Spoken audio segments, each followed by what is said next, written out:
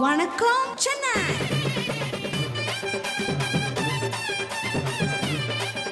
നമ്മുടെ അയൽ സംസ്ഥാനത്തിലെ മഹാപട്ടണമായ ചെന്നൈയിലേക്ക് വർഷങ്ങളായി കേരളത്തിലെ കത്തോലിക്ക വിശ്വാസികൾ കുടിയേറി പാർക്കും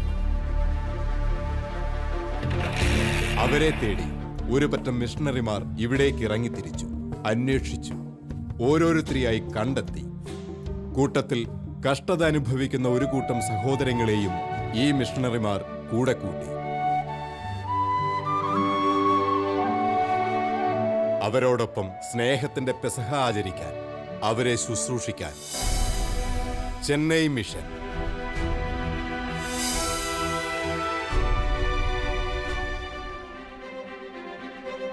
ചെന്നൈ പട്ടണം. ഈ ദിവസങ്ങളിൽ ആഘോഷങ്ങളുടെ ദിനങ്ങളാണെന്ന് മിഷണറിമാർ പറയുന്നു. പതിവിനേക്കാളും തിരക്ക് അനുഭവപ്പെടുന്നുണ്ട്. ചോദിച്ചപ്പോഴാണ് അറിയുന്നത്. ഇവിടെ പൊങ്കൽ ആഘോഷിക്കുകയാണെന്ന്. നമ്മുടെ കേരളത്തിലെ ഓണം പോലെയുള്ള തമിഴരുടെ ഉത്സവം. എല്ലാവരും അതിന്റെ തിരക്കിലാണ്. പോകുന്ന വഴി ഒരു വാട്ടി നമുക്കും പാക്കലാം.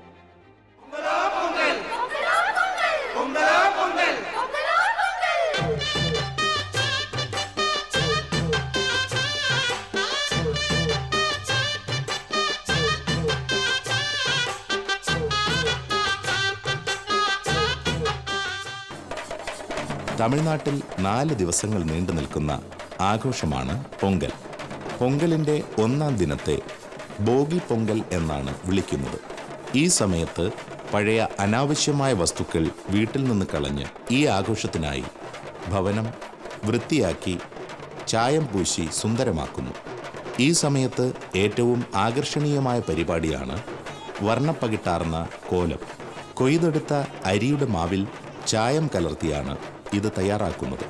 പൊങ്കലിന്റെ രണ്ടാം ദിവസമാണ് ഏറ്റവും പ്രധാനപ്പെട്ടത്.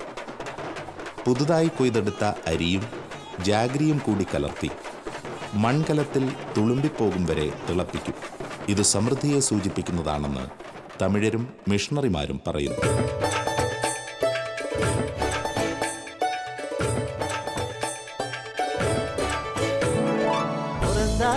பறந்தாச்சு. தை மாசம் பறந்தாச்சு. சந்தோஷம் உல்லாசம் எப்போதுமே. பிறந்தாச்சு பிறந்தாச்சு. தை மாசம் பிறந்தாச்சு. சந்தோஷம் உல்லாசம் எப்போதுமே.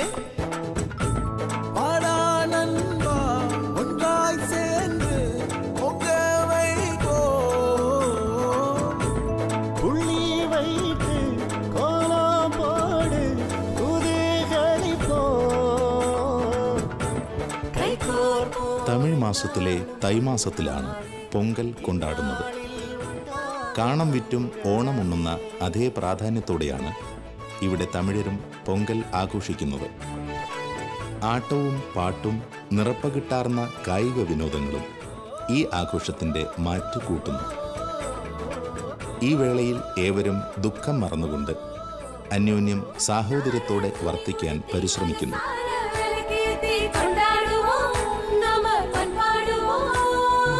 பண்பாடுவோம் பசும்பாலு நெய் மணக்க செங்கரும்பு அச்சு வெல்லம் சேர்த்து வச்சு நாம பொங்க வைப்போம்.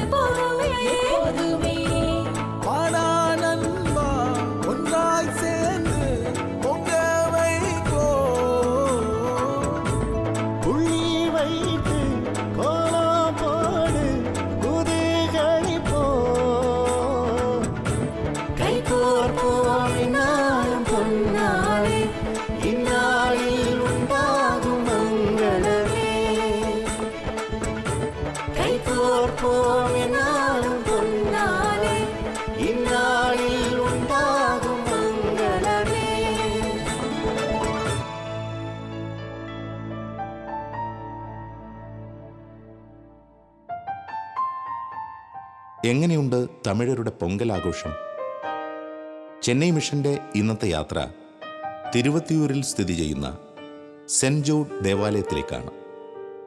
നമുക്ക് വിശുദ്ധ യൂത തദേവുസിന്റെ ഈ ചെറിയ ദേവാലയത്തിൽ കയറി പ്രാർത്ഥിക്കാം. ഈ ചെന്നൈ പട്ടണത്തിനു വേണ്ടിയും ഇവിടെ നടക്കുന്ന മിഷണറി പ്രവർത്തനങ്ങൾക്ക് വേണ്ടിയും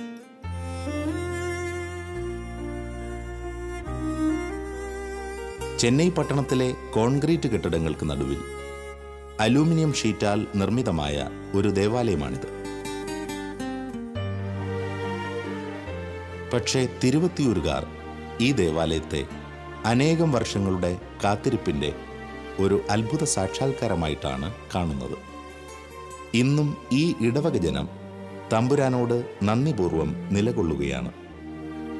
ഒന്നുമില്ലായ്മയിൽ നിന്നും അനേകം സുമനസ്സുകളുടെ സഹായവും ദൈവാനുഗ്രഹവും ഒന്നുകൊണ്ട് മാത്രമാണ്. ഇവിടെ വിലയേറിയ ഈ സ്ഥലം വാങ്ങാനും ഇത്ര മനോഹരമായ ഈ ചെറിയ ഇടവക ദേവാലയം പണിതുയർത്താനും സാധിച്ചതെന്ന് മിഷൻ വൈദികർ പറയുകയുണ്ടായി. കൂടാതെ ഈ ദേവാലയത്തിന്റെ പേരുകാരനായ വിശുദ്ധ യൂദാ തദേവൂസിന്റെ അത്ഭുത പ്രവർത്തനങ്ങളെയും ഇവർ സാക്ഷ്യപ്പെടുത്തുകയുണ്ടായി.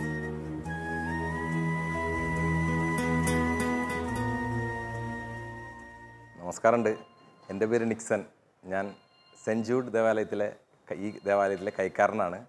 ഞങ്ങൾ ഈ യൂണിറ്റ് ആരംഭിച്ചിട്ട് ഏകദേശം ഇരുപത്തേഴ് വർഷത്തോളമായി ഈ യൂണിറ്റിൽ അന്ന് നാളിൽ ഒത്തിരി പേർ കഷ്ടപ്പെട്ടാണ് ഇത്രയും വലിയ യൂണിറ്റ് നിർവഹിച്ചത്. പക്ഷേ ഞങ്ങളുടെ എല്ലാവരെയും സ്വപ്നമായിരുന്നു ഒരു ദേവാലയം. അത് സാക്ഷാത്കരിക്കാൻ വേണ്ടി ഞങ്ങൾക്ക് ഒത്തിരി നാൾ കാത്തിരിക്കേണ്ടി വന്നു. ഇരുപത്തേഴ് വർഷത്തോളം കാത്തിരിക്കേണ്ടി വന്നു. ഒത്തിരി സ്നേഹത്തോടെ സഹകരണത്തോടെ എല്ലാവരും ഞങ്ങളെ സഹായിച്ചു. പിന്നെ ഇവിടെയുള്ള ഞങ്ങളുടെ ഇടവക ജനങ്ങൾ വളരെ ആത്മാർത്ഥമായിട്ട് ഒരു കൂട്ടായ്മയായിട്ട് ഞങ്ങളോട് ഒരു കുടുംബം പോലെ ഞങ്ങളെല്ലാം ഒരുമിച്ച് നിന്ന് പ്രവർത്തിച്ചു.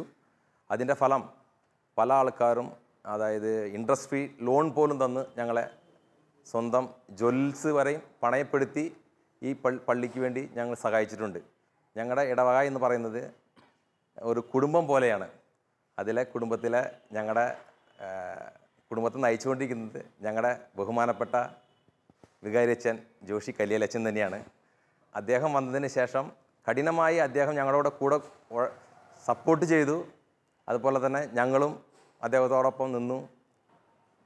ഇപ്പോൾ പറഞ്ഞ ഈ ഇടവയെക്കുറിച്ച് പറഞ്ഞ ഒരുപാട് കാര്യങ്ങൾ ഓർക്കുമ്പോൾ വളരെയധികം സന്തോഷമുണ്ട്. ഇങ്ങനൊരു ദൈവജനത്തെ ഒരുമിച്ച് കൂട്ടുവാൻ ദൈവം നൽകിയ കൃപകളെ ഓർത്ത് ഈ അവസരത്തിൽ ആത്മാർത്ഥമായിട്ട് നന്ദി പറയുകയാണ്. പ്രത്യേകിച്ച് ചെന്നൈ മിഷന്റെ ഇവിടേക്കുള്ള പ്രവർത്തനങ്ങൾ ആരംഭിച്ചത് മുതൽ ഈ തിരുവത്തിയൂർ അടവുക ഒരു ശക്തമായ ഒരു സമൂഹമായിരുന്നു. ആ സമൂഹം ആദ്യകാലം മുതൽ തന്നെ ആഗ്രഹിച്ചിരുന്നതാണ് ഒരു ദേവാലയം ഉണ്ടാകുക എന്നുള്ളത്. അത് ചെന്നൈ സീറോ മലബാർ മിഷന്റെ വലിയ ഒരു പ്രവർത്തന മുഖാന്തരം.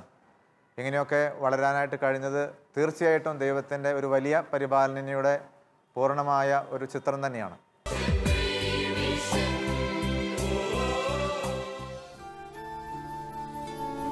ചെന്നൈയിൽ തന്നെ തിരുമുളൈ വോയലിലെ ഒരു മിഷൻ സ്റ്റേഷനിലാണ് നാം ഇപ്പോൾ എത്തിയിരിക്കുന്നത്. മാനസികാസ്വാസ്ഥ്യതയുള്ള പാവപ്പെട്ട സ്ത്രീകളുടെ പുനരധിവാസ കേന്ദ്രം. ഫ്രണ്ട്സ് ഫോർ ദ നീഡി എന്നാണ് ഈ സ്ഥാപനത്തിന്റെ പേര്. എന്റെ പേര് സിസ്റ്റർ മേരി റാണി ഞാൻ sisters of the destitute congregation അംഗമാണ്. ഇവിടെ ചെന്നൈ മിഷനിൽ സീറോ മലബാർ രൂപതയിൽ ആതിര സേവന രംഗത്ത് വർക്ക് ചെയ്യുകയാണ്. ഇവിടെ ഞങ്ങൾക്ക് ഫ്രണ്ട്സ് ഫോർ നേടി എന്നാണ് ഈ സ്ഥാപനത്തിന്റെ പേര്. ഇവിടെ സൈക്കാട്രിക് പേഷ്യൻസ് ആണുള്ളത്. ജീവിതത്തിന്റെ ചില സാഹചര്യങ്ങളിൽ പെട്ടെന്ന് അവരുടെ മനോനില തെറ്റിയിട്ട് ഇവിടെ വന്ന് ചേർന്നവരാണ്. അവർ ട്രീറ്റ്മെന്റിനായിട്ടാണ് ഇവിടെ നമ്മൾ ചേർത്തിരിക്കുന്നത്. ഏകദേശം പതിനാറ് വർഷത്തോളമായി ഈ സ്ഥാ സ്ഥാപനം ഇവിടെ തുടങ്ങിയിട്ട്. അപ്പോൾ ഞങ്ങൾ മൂന്ന് പേര് സിസ്റ്റേഴ്സും നാൽപ്പത് പേഷ്യൻസുമാണ് ഇവിടെ ഉള്ളത്. ഇവിടെ ധാരാളം ഉദാരമതികളായ അത് മുസ്ലിമെന്നോ ഹിന്ദുവെന്നോ ക്രിസ്ത്യൻസെന്നോ ഒന്നും വ്യത്യാസമില്ലാതെ എല്ലാവരും വന്ന് ഞങ്ങളെ സഹായിക്കുന്നുണ്ട്. അതുപോലെ തന്നെ ഇതുപോലത്തെ പേഷ്യൻസും മുസ്ലിംസ് ഹിന്ദു ക്രിസ്ത്യൻ എല്ലാ മതസ്ഥരും ഇവിടെയുണ്ട്. അവരെല്ലാവരും ഒരുപോലെയാണ്. അവർ വരുമ്പോൾ ചില വന്ന സാഹചര്യം ചിലപ്പോൾ ഭയങ്കരമായിട്ട് വയലന്റ് ആയിട്ടുമൊക്കെയാണ് വന്നിരുന്നത്. പക്ഷേ ഇവിടെ മെഡിസിൻ കൊടുത്ത് അവരെ ഒത്തിരി വ്യത്യാസം വരികയും വീണ്ടും അവരെ ജീവിത സാഹചര്യങ്ങളിലേക്ക് തിരിച്ചു പോകാനും അങ്ങനെ പൂർണ ആരോഗ്യവതികളായിട്ട് ഇവിടുന്ന് മുന്നൂറ്റി പതിനഞ്ച് പേരോളം അവരുടെ വീടിന്റെ വീടുകളിലേക്ക് തിരിച്ചു പോകാൻ ഇടയായിട്ടുണ്ട്. അവരിപ്പോൾ കുടുംബജീവിതം സന്തോഷമായിട്ട് നയിക്കുന്നു. എല്ലാ മാസവും ഡോക്ടർ ഇതിൻ്റെ psychiatric doctor doctor Shantha Kamathan doctor ആ ഡോക്ടർ ഫ്രീ ആയിട്ട് ഇവിടെ വന്ന് എല്ലാവരെയും ചെക്കപ്പ് നടത്തുകയും അവർക്ക് വേണ്ടതായ മെഡിസിൻസ് എല്ലാം പ്രിസ്ക്രൈബ് ചെയ്യുകയും ചെയ്യും குட் ஈவினிங் எப்படி இருக்கேன் உட்காரு விமலா மேடம் நல்லா இருக்கியா குளிக்கிறாங்களா சாப்பிடுறாங்களா ஆமா எல்லாம் செய்ய இப்போ ஓரளவுக்கு எல்லாம் தனியாக செய்யறதுக்கு ஆயிடுச்சு இப்போ ஓரளவுக்கு பரவாயில்ல தூங்குறாங்களா தூக்கம் நல்லா இருக்கும் மேடம் ஆ, மாத்திரை கரெக்டா போடுறீங்களா? கரெக்டாக போடுறேன் மேடம்? இப்போ நீ எது வரைக்கும் படிச்சிருக்க? பிஎஸ்சி பிஎட் வரைக்கும் படிச்சிருக்கேன் மேடம் எந்த கிளாஸ் சொல்லி கொடுத்துருக்க இதுக்கு முன்னால? சிக்ஸ்த்து செவன்த் எயித்து வரைக்கும். எந்த சப்ஜெக்ட் மேக்ஸு மேத்ஸ் மட்டுமா? இங்கிலீஷும் மற்ற சப்ஜெக்ட்டும் மேக்ஸ் மட்டும்தான். மேத்ஸ் மட்டுமா? உன் அப்ளிகேஷன் நீ ரெடி பண்ணிக்கோ. சாயந்தரம் இங்க வீட் இங்க வந்துடணும் புரிஞ்சுதா? ஸோ இப்போ வேலைக்கு போறதுக்கு நீ ரெடியா இருக்க. ரெடியாக ஆ? சரி. ஸோ சீக்கிரம் நான் சிஸ்டர் கிட்ட சொல்கிறேன் அப்ளிகேஷன் ரெடி பண்ணி ஸ்கூலில் கொடுத்துட்டு வேலை வந்ததுன்னா உனக்கு வேலைக்கு அனுப்புகிறோம் சரியா? அதுக்கப்புறம் கொஞ்சம் நார்மல் ஆன உடனே நீ வீட்டுக்கு போயிட்டு அங்கேருந்து வேலைக்கு போகணும். சரிங்க சரியா? All the best thank you madam thank you madam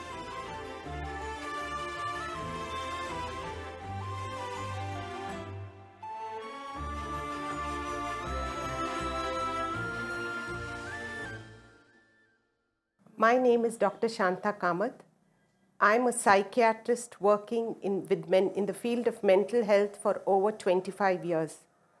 This home has been started by the Syro Malabar Catholic Chennai Mission because of a felt need in the community. And there are about 40 mentally ill women who stay here in this home. They are taken care of by two, two sisters who look after them from morning till evening. Now, many of y'all must be wondering why the need for a home for mentally ill women. I think there is a felt need in the community.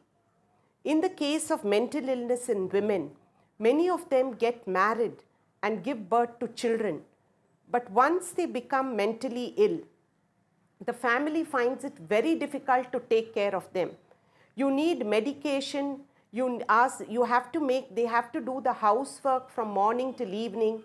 Many of them are not able to get up, take care of the children, and many of them are separated or divorced. But in, for such women, we need a home where they can be kept in a sheltered setting, medicines given, work therapy given, yoga given, so that they improve and go back to the family. ദിനം പ്രതിയുള്ള ചെറിയ പുരോഗതി വലിയ നേട്ടങ്ങളുടെ മുതൽക്കൂട്ടാണ്. ഇവിടെ ഈ mission മനുഷ്യന്റെ പരമപ്രധാനമായ ധർമ്മത്തെ അനുകരണീയമാം വിധം ക്രിസ്തു വഴിയിലൂടെ സഞ്ചരിച്ച് കാട്ടിത്തരുകയാണ്. ചെന്നൈയിലെ ഈ പുനരധിവാസ കേന്ദ്രം അനേകം കുടുംബങ്ങളുടെ ഒരു അത്താണിയാണെന്ന് ഇവിടുത്തെ തമിഴ് ജനത ഏകകണ്ഠമായി പറയുന്നു.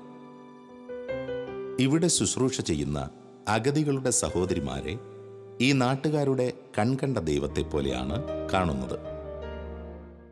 എന്തെങ്കിലും ജോലിയിൽ ഇവരെ വ്യാപൃതരാക്കുക എന്നുള്ളത് ഇവരുടെ ഈ ട്രീറ്റ്മെന്റിന്റെ ഒരു ഭാഗം തന്നെയാണ്. അതുകൊണ്ട് ഞങ്ങൾ ഇവിടെ കവർ മേക്കിംഗ് അതായത് മെഡിക്കൽ ഷോപ്പിലൊക്കെ ന്യൂസ് പേപ്പർ കൊണ്ട് കവർ ഉണ്ടാക്കിയിട്ട് അത് മെഡിക്കൽ ഷോപ്പിൽ കൊടുക്കും. അതുപോലെ ബില്ല മേക്കെന്ന് പറഞ്ഞ ഒരു കട്ട് പീസ് അത് അടുക്കി അവരത് പുറത്ത് ഒരാൾ ഓർഡർ ചെയ്തിട്ടുണ്ട്. അതനുസരിച്ച് അത് കൊടുക്കും. അപ്പോൾ അതെല്ലാം ഒരു പൈസ ഉണ്ടാക്കുക എന്നുള്ളതല്ല ഞങ്ങൾക്ക് ആ കുട്ടികൾക്ക് ഒരു എൻഗേജ് അവരെ ഒരു ജോലിയിൽ എൻഗേജ് ചെയ്യിക്കുക എന്നുള്ളതാണ് അതിന്റെ മെയിനായിട്ടുള്ള അവരുടെ ഒരു ട്രീറ്റ്മെന്റിന്റെ ഭാഗമാണത്. മെഡിസിൻ മാത്രമായിട്ടിരുന്നാൽ അവർ ഉറങ്ങിയിട്ടേ ഇരിക്കും എപ്പോഴും. അത് അവരുടെ മനസ്സി മാനസികവും ശാരീരികവുമായ ബുദ്ധിമുട്ടാണ് അവർക്ക് കൂടുതൽ അനുഭവപ്പെടുന്നത്. അതുകൊണ്ട് ആ എപ്പോഴും ഇങ്ങനെ ഉറങ്ങിയിരിക്കുന്ന അവസ്ഥയിൽ നിന്ന് മാറി ഇവരെന്തെങ്കിലും ജോലി വ്യാപൃതരാകുവാനും അതുപോലെ തുടർന്ന് അവരെ വീട്ടിലേക്ക് പറഞ്ഞയക്കുമ്പോൾ അവർ എന്തെങ്കിലും എൻഗേജ് ആകുക എന്നുള്ളതാണ്. അങ്ങനെ ഒരു ട്രീറ്റ്മെന്റാണ് ഞങ്ങൾ മെയിനായിട്ട് ഉദ്ദേശിക്കുന്നത്. ഇവരുടെ ഒരു ഇവരിതിൽ നിന്ന് ക്യൂർ ആകുക അല്ലെങ്കിൽ റിക്കവർ ആകുക എന്നുള്ളതാണ്. അതുകൊണ്ടാണ് ഞങ്ങൾ അങ്ങനെയുള്ള ജോലികളിൽ. ഞങ്ങളുടെ കോൺഗ്രിഗേഷന്റെ കരുസം എന്ന് പറഞ്ഞാൽ അഗതികളുടെ സഹോദരിമാരെന്നാണ് ഞങ്ങൾ അറിയപ്പെടുന്നത്. അപ്പോൾ അഗതികളുടെ സഹോദരി അഗതിത്വം അനുഭവിക്കുന്നവരെ ശുശ്രൂഷിക്കുക എന്നുള്ളതാണ് ഞങ്ങളുടെ മെയിനായിട്ടുള്ള ഡ്യൂട്ടി അതുകൊണ്ട് ഇപ്പോൾ ഇവിടെ വന്ന് അപ്പോൾ ഈ ചെന്നൈ മിഷനിൽ ഇങ്ങനെ ഒരു സാഹചര്യം കിട്ടിയത് ഞങ്ങൾക്ക് വലിയ സന്തോഷമാണ്. അപ്പോൾ അവിടുത്തെ അച്ഛന്മാരുടെ എല്ലാം സപ്പോർട്ട് ഞങ്ങൾക്കുണ്ട് മനുഷ്യൻ തികച്ചും നിസ്സാരനായി പോകുന്ന അപൂർവ നിമിഷങ്ങളിലൂടെയാണ് ഈ സഹോദരിമാർ കടന്നുപോകുന്നത്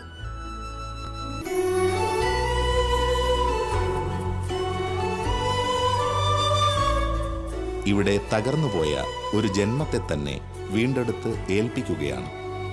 ഒരു പ്രതിഫലവുമില്ലാതെ.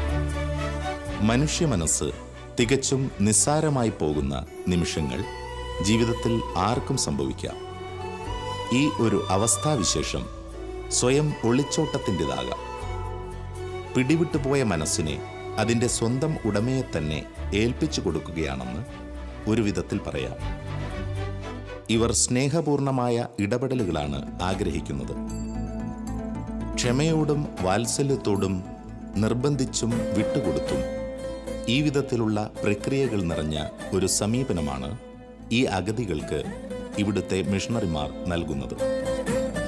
നിരന്തരമായ നിർബന്ധത്തെക്കാളുപരി ഇവർക്കൊപ്പം ഇവരിൽ ഒരാളായി നിന്നുകൊണ്ട് സംസാരിക്കുമ്പോൾ അത്ഭുതകരമാം വിധമുള്ള ക്രിയാത്മകമായ സമീപനത്തിന് ഇവർ വിധേയരാകുന്നു. അത് ചില സമയങ്ങളിൽ അതിവേഗതയിലുള്ള രോഗസൗഖ്യം ഇവിടെ അനേകർക്ക് ലഭ്യമാക്കുന്നു. നിറമിഴികളോടെ ഇവിടെ കയറി വന്നവർ പുഞ്ചിരിയോടെ പൂർണ ആരോഗ്യവതികളായി തിരികെ പോകുമ്പോൾ ചെന്നൈ മിഷന്റെ മഹനീയമായ ഈ ശുശ്രൂഷ അനേകം കുടുംബങ്ങൾക്ക് ഒരു അനുഗ്രഹമായി മാറുന്നു.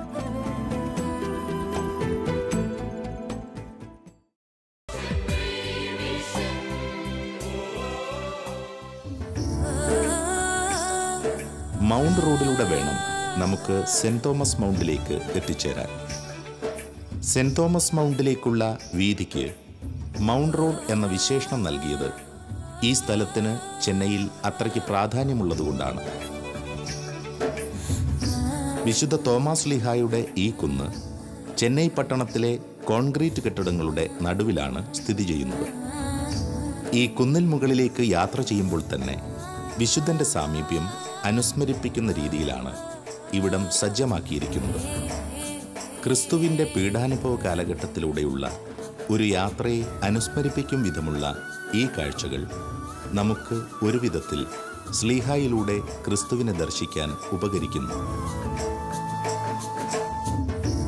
ഗത്സമനിൽ പ്രാർത്ഥിക്കുന്ന യേശുവിന്റെ രൂപം കാണുമ്പോൾ അതിലൂടെ നമുക്ക് പോകുന്ന വഴി പ്രാർത്ഥിക്കുവാനുള്ള പ്രേരണ ലഭ്യമാകുന്നു.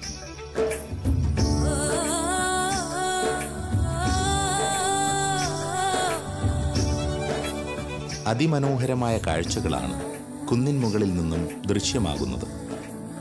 ഇവിടേക്ക് റോഡ് മാർഗവും നടന്നു കയറി വരാൻ നൂറ്റി മുപ്പത്തിയഞ്ച് പടവുകളിലൂടെയും മുകളിലേക്ക് എത്താവുന്നതാണ്. വരുന്ന വിശ്വാസികൾക്ക് കുരിശിന്റെ വഴി നടത്തി പ്രാർത്ഥിക്കാനുള്ള സജ്ജീകരണങ്ങൾ ഇവിടെ ഒരുക്കിയിട്ടുണ്ട്.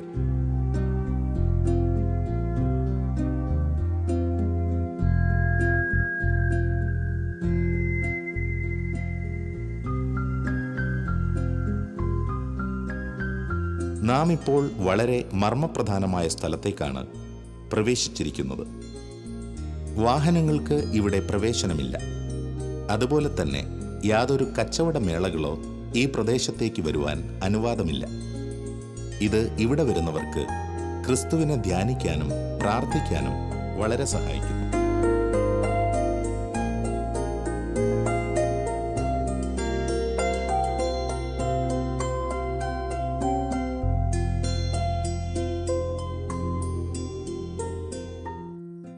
നാം ഇപ്പോൾ ഇതിനുള്ളിലെ ചെറുതും പ്രാധാന്യമേറിയതുമായ ചാപ്പലിൽ പ്രവേശിച്ചിരിക്കുകയാണ്. ഇരുവശങ്ങളിലും ക്രിസ്തു ശിഷ്യന്മാരുടെ ചിത്രങ്ങളാണ് മനോഹരമായി സജ്ജമാക്കിയിരിക്കുന്നത്.